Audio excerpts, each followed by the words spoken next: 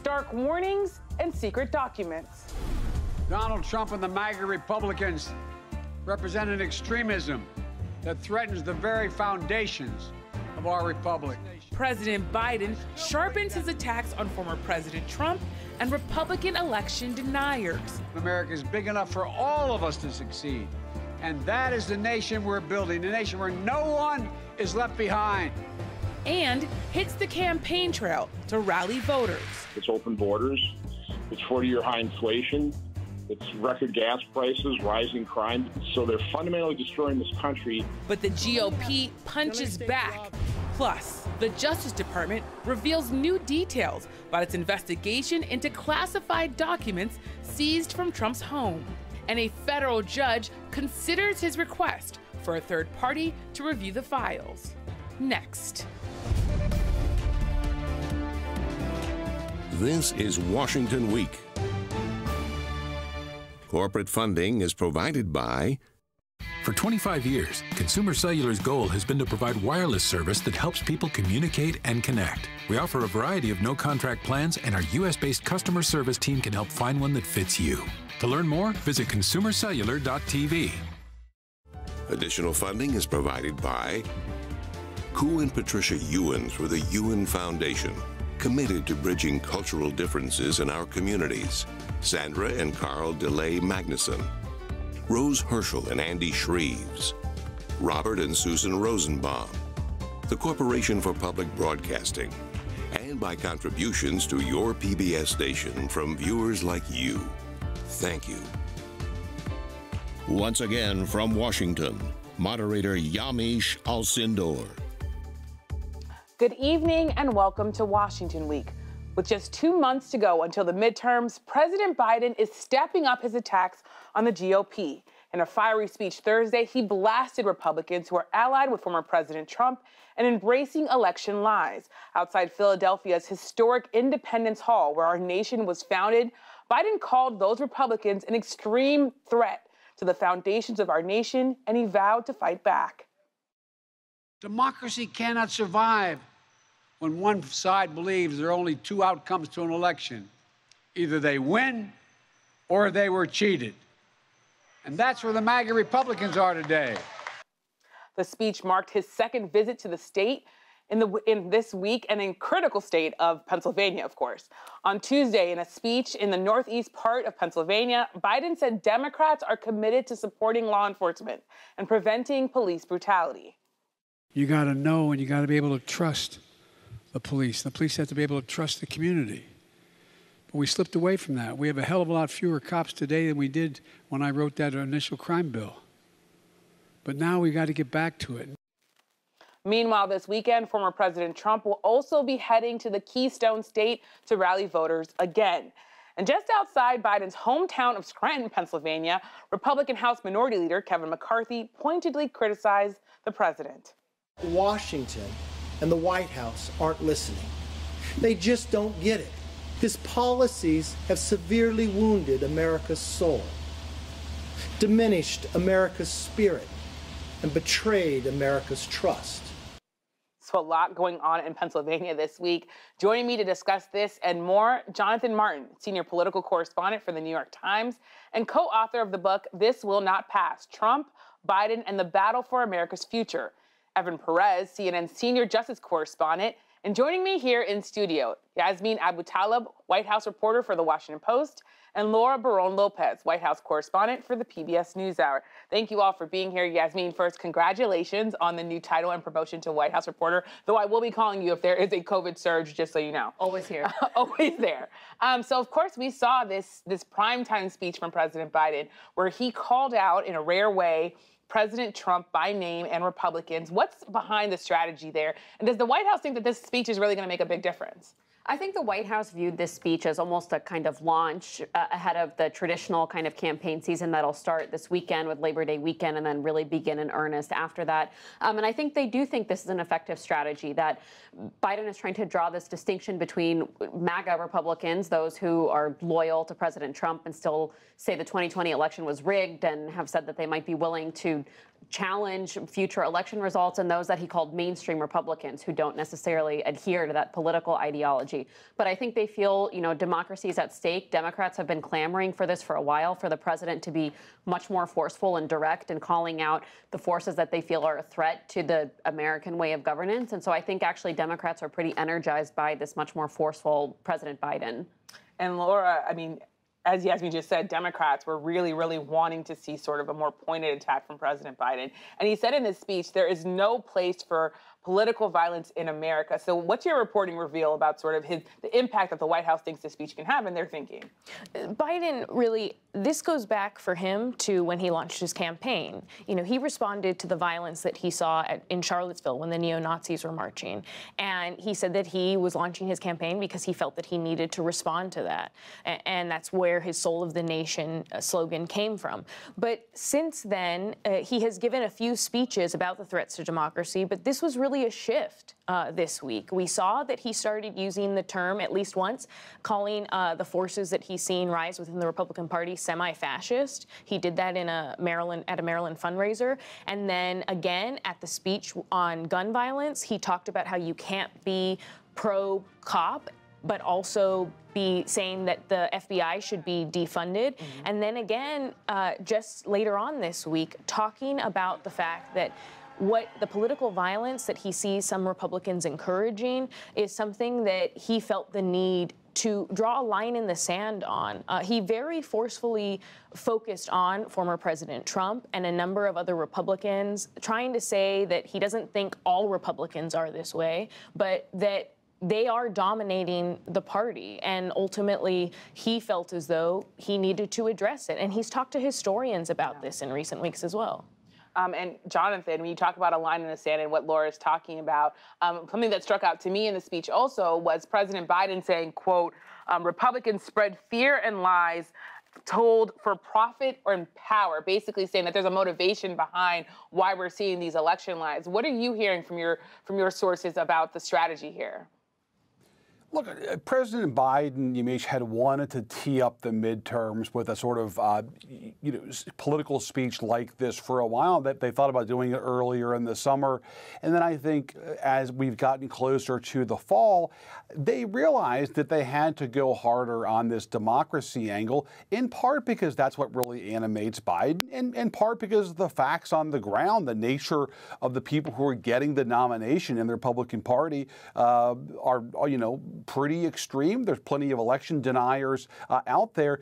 But they also made a choice here, which is to conflate uh, you know, a more traditional midterm political speech with a more high-minded speech uh, on the importance of protecting America's democracy and institutions, and doing so from Independence Hall with sort of Marines standing behind him. And I think because he did both of those things uh, in the same speech, it drew some criticism uh, from obviously folks uh, on the right, but also some less predictable uh, folks like the Washington Post editorial page, for example, sort of tut-tutting Biden for, for mixing high minded appeals to small d democracy and more traditional campaign season attacks on the GOP. I'll just say one more thing, and that is I'm not totally sure why Biden had to insert himself into the conversation. There's an old saying, don't get in your opponent's way uh, when he's losing. I think a lot of Democrats have liked the way things are going the last couple of weeks because the attention has been entirely on Trump rather than on Biden. And when, when the focus is on Trump, uh, that tends to be good for Democrats. And I think there's some uncertainty as to why Biden wanted to bring it back to himself here instead of letting Trump keep doing his thing. If I could just add, I mean, in the meetings that Biden had recently with historians, he asked them if there was any similar moment in history that they could think of. Uh, that, and they said to him, 1940s, 1941, when President FDR then addressed fascism and potential rising forces of fascism within the U.S. And so I think that he's been very much thinking about that. Yeah. They said that that's been on his mind, and that they also agree. A lot of these historians posed to him without giving him direct advice on how he should write the speech, yeah. that uh, at a moment like this, a number of presidents in the past have weighed in to decide that this moment calls for that because of the forces at work in the country. And Evan, I know you're, you're, the Justice Department. Obviously, you're you're reporting on the actual things that are going on in terms of keeping people safe in this country. And I want to point out that this week we saw the longest sentence handed out in a case stemming from the January 6th um, Capitol attack. We saw a man named Thomas Webster sentenced to 10 years. He's a former NYPD officer. I bring him up because I wonder what you make of that sentence and the idea that sort of the DOJ is at the heart of prosecuting people. Um, how does sort of these themes that we're talking about square with the violence and the threats that are that are real around this country? No, exactly. And I, look, I think the, the, the, conversation you guys have been having is really fascinating, especially within the context of what you see prosecutors and what the FBI are doing. And, you know, they're trying to their best to stay out of the political sphere, but it's really, it's impossible, right? When you are talking about people who committed violence in the name of the former president, um, and and who he has in the last just in the last few days said that if he were to become president again, he's going to give pardons, and that he is financially supporting some of them. Uh, although that is not exactly quite clear, because if you talk to, to people uh, involved with some of the defendants, you know, they're quite angry because they believe that they've been hung out to dry while, while the former president has been raising millions and millions of dollars and hasn't really shared any of that to, to, to help uh, the defense of some of these people. But from a Justice Department standpoint, you know, I think they wanted to make sure that they made examples of some of the worst violent offenders, and, and, that one gentleman is, is one of the, the people. I mean, he was attacking police uh, with uh, weapons, and, and, you have it on video. So they wanted to make a, an example of that. But there is some nervousness, I will say, about having you know the president and others in the Democratic Party try to sort of conflate some of the things that are happening. You know, they're trying to you know make sure people uh, go to jail who committed crimes uh, and not conflate that with the broader picture of the political fight that is going on over democracy, small d or big D, uh, because you know that is those are two things that can't be mixed. Yeah. Um, it's it's an interesting and an important point, Yasmeen. When we think about sort of conflations and, and sort of the midterm strategy and the language being used, I also want to point out that President Biden spent some time talking about crime and policing and law enforcement. And part of that, he talked about the sort of crime bill um, and wanting to make sure that there are more police officers and hiring more, hiring more police officers. On the flip side, there are people, including civil rights leaders that he met with today, who are worried about sort of this midterm strategy of being tough on crime. What are you hearing, both from the White House, but also people who are worried about what that could mean for people in mass incarceration? I think this is a really difficult area for Biden and for, for Democrats more broadly, especially those who are in these difficult swing states. He did deliver that speech on crime in Pennsylvania, where, of course, the, the Democratic Senate candidate, John Fetterman, is all, this is a top issue in his race, is uh, his record on crime and, and whether he's going to be tough on crime or not. And so I, I thought that speech was interesting because you saw the president taking this pretty markedly pro law enforcement stance, almost wanting to draw a very sharp distinction between him and Democrats who a year or two earlier were talking about defunding the police and and you know some of the problems with police force in the U.S. Uh, but I think you know there is the risk that he alienates some of the the people in his party, particularly those on the left and those who have expressed uh, concerns about criminal justice and and the inequities and, and who's incarcerated um, if, if he swings too far in either direction. So I think this is just a, a very difficult balancing act for him and for for many Democrats Democrats in these tough races. And John J. Mart, I just want to say we call you Jonathan Martin, but everyone who knows you calls you J. Mart. So J. Mart, uh, Yasmeen's talking about Pennsylvania. Let's go there. President Biden's going to have been there three times just this week. Of course, President, former President Trump is also heading there. Why are they all heading to Pennsylvania? Make this make sense for us. Why is this so significant to them? Well, I don't think it's because they're all, you know, looking to get a, uh, a taste of Yuengling uh, for Labor Day weekend, uh, although uh, a few of those could be consumed uh, uh, as well. Look, I, it's probably the most important battleground state uh, this year because you've got these marquee uh, races for the Senate and for governor. And the Senate race there, Yamiche, it's really the best opportunity Democrats have to flip a Republican held seat. Pat Toomey is retiring. That seat's open. It's a state, obviously, that has gone to the Democrats, um, you know, with the exception of in, in 2016 when Trump carried it uh, for the last few cycles for Democrats. And so I think it's an opportunity uh, to get a rare pickup uh, in the Senate. Uh, and if Dems hold their majority in the Senate, it'll be in part because they, they flip that seat. Uh, and I think as important, Yamiche, it's because this governor's race is so central, not just in 2022, but in 2024. And the reason for that is because Pennsylvania invests extraordinary power in their governor when it comes to the administration of elections. The governor essentially in Pennsylvania is the chief elections officer, and, and, that is so important because in 2024, the governor there is going to have enormous authority when it comes to certifying the results of the election. And I don't have to tell the viewers of this show uh, why certification of that election is so important. Yeah.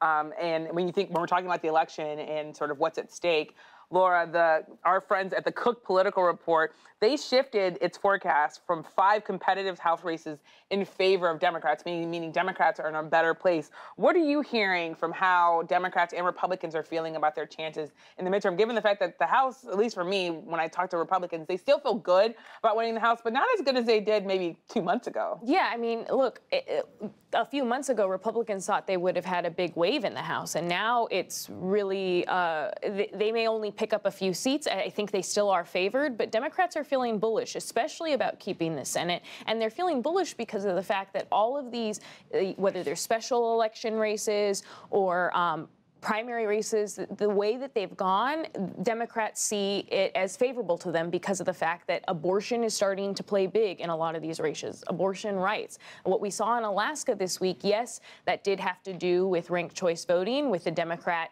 uh, winning there, uh, Mary Peltola, and beating out Sarah Palin, the Republican. But a lot of uh, a Democratic data firm ha- has been saying actually that registration changed after yeah. the Roe decision, after uh, Roe was overturned. A number of women started registering at greater numbers. It went up about seven points. And that's happened in other states across the country, including Wisconsin and Michigan, where you've seen uh, women register in greater numbers since the decision, as well as younger women. Yeah, it's going to be a big, big topic. Um, another big topic that probably is on a lot of people's minds as we enter the sort of official kickoff of the midterms is that we learned more about former President Trump's legal challenges the Justice Department's investigation. On Tuesday, the DOJ revealed this photo showing classified documents found at Trump's home during the FBI search last month. It shows five yellow folders marked top secret and another red folder labeled secret. The photo was part of a filing by the Justice Department. The DOJ also said it believes top secret documents had likely been, quote, concealed and removed from the storage room to obstruct the government's investigation. And on Friday, the DOJ released a detailed list of what was seized from Trump's home. A judge is also considering Trump's request for the appointment of a special master to review the file seized. So, Evan, clearly we're coming to you for this. There are so many developments. Tell us what is most important and what happened, what's most significant about this week. Well, look, I think you guys, you know, have been talking a little bit about the troubles for Republicans, and this is exactly the kind of thing that it, where Donald Trump is not helping uh, Republicans because, you know, the former president, or himself, by the way, the, the former president decided to, to, to make these legal, uh, the, this legal move to, to, you know, after nearly three weeks to ask for a special master. So what that did is that prompted the Justice Department to release a lot of information that otherwise they would never have because Merrick Garland doesn't believe in in, telling us very much unless he speaks through court documents. And, and so some of the things you just listed were just, there was a deluge of information about, you know, for example, just today, you know, we saw that commingled with magazines and, and other personal do, uh, uh, things like, like clothing, you know, there were dozens and there were, I'm sorry, there was 11,000, doc, more than 11,000 uh, government documents that were found as part of the search. There were uh, four dozen uh, empty folders that were labeled as classified. What was in them? We don't know. We also know that there were like seven, there were about seven boxes of documents that were taken from the former president's office. Now, keep in mind, uh, you know, back in June, the FBI and the Justice Department told the Trump team that they were to secure everything that was classified information in a storage room. And yet, when they showed up in August, they found all of these documents, including classified top secret stuff, in his office, which really means that, you know, brings it closer to him. So, look, the, the, the bottom line here is that there's real legal jeopardy for the former president. There's real legal jeopardy for people around him who are handling some of this stuff and who swore that you know they had turned over everything. And the worst part for, for, for Republicans is all of this is coming out and it's going to keep coming out because of the, pres- the former president's legal maneuvers in this Florida court, which means we're going to keep getting reminded about this between now and the uh, and the midterms, most likely. And you're talking about people close to President Trump having legal jeopardy. Evan, um, legal specialists say two lawyers for former President Trump they might either become targets or witnesses of of this investigation. What's your reporting on that? No, that's right, exactly. And we saw one of those lawyers actually show up in court, and, and a lot of us were kind of astonished because at one point, at some point, you become a fact witness and potentially someone who could get hauled before the grand jury. And most lawyers know that once you get to that stage, then you need to pull away from the from the from the uh, the legal case of your client. So we'll see whether that happens. The former president has brought in some real legal uh, help. You know, Chris Kise is a is a former Solicitor General of Florida. He's now representing the former president, and so now you know we now believe that you know certainly the person who one of the lawyers who signed the declaration, Christina Bobb, uh, Evan Corcoran. These are people who are potentially witnesses in this criminal investigation that the Justice Department says is still really just at the beginning. And J. Mart, we have Attorney General Bill Barr that just today saying um, that there, it was unprecedented for the president to take these classified documents and put them in a country club. You have that, juxtapose that with Lindsey Graham saying that there's going to be riots in the streets if he's prosecuted. Tell me about the Republican response and what's going on here. Yeah, look, I think when the uh, feds raided uh, Mar-a-Lago, I think there was an initial uh, circling of the wagons. Uh, th- this is uh, unprecedented. Uh, th- this is a really extreme step. You know, we need more facts. Well, I think in the weeks since then, we have gotten more facts, and we, have gotten them mostly through these court filings.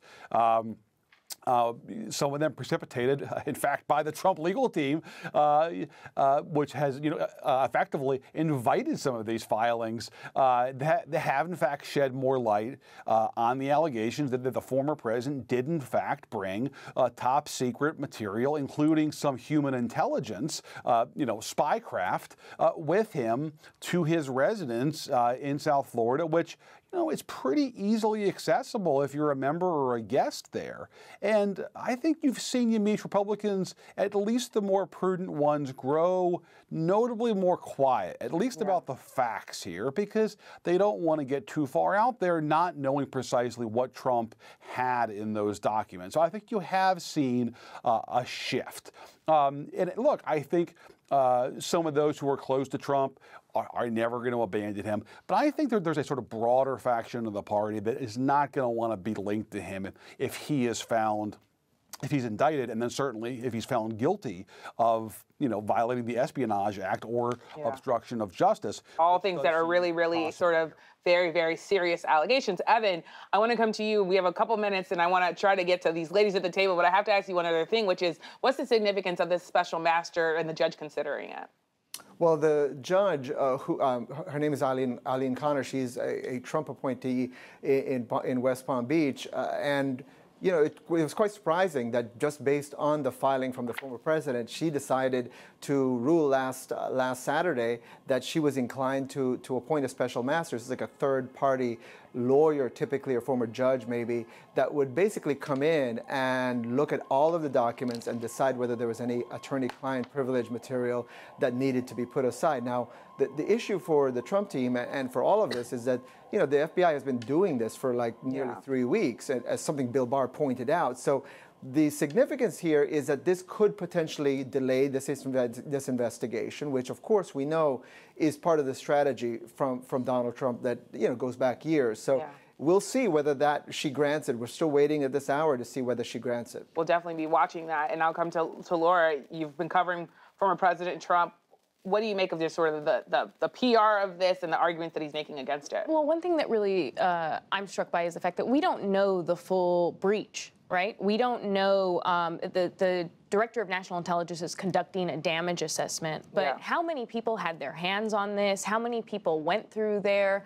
Um, the fact that classified information was commingled with non-classified, you talk to any intel official, and that's a no-no right off the bat Yeah. because that means that someone who's reaching for non-classified information automatically then touches something that's classified, and that's now Yeah. compromised. 10 seconds. Uh, Yasmeen, you obviously know very deeply how President Trump functions. What do you make of the way that he's handling this?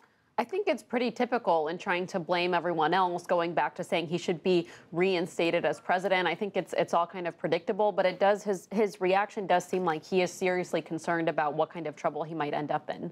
And this is all stuff that we're going to have to continue to watch as former President Trump is saying this is a smash and grab, and the Justice Department is saying this is a very serious and fair way that they went about doing this. So thank you, all of you, for Jonathan, Evan, Yasmeen, and Laura for joining us and for sharing your reporting on this holiday weekend. And before we go, don't forget to watch PBS News Weekend for the latest on the DOJ's investigation of former President Trump and the reaction to President Biden's speech denouncing Trump and other GOP election deniers. There's no Washington Week Extra tonight, so enjoy your holiday weekend. I'm Yamiche Alcindor. Good night from Washington.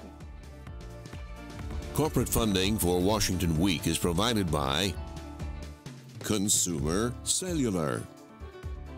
Additional funding is provided by Koo and Patricia Yuen through the Yuen Foundation, committed to bridging cultural differences in our communities. Sandra and Carl DeLay Magnuson, Rose Hirschel and Andy Shreeves, Robert and Susan Rosenbaum, the Corporation for Public Broadcasting, and by contributions to your PBS station from viewers like you. Thank you.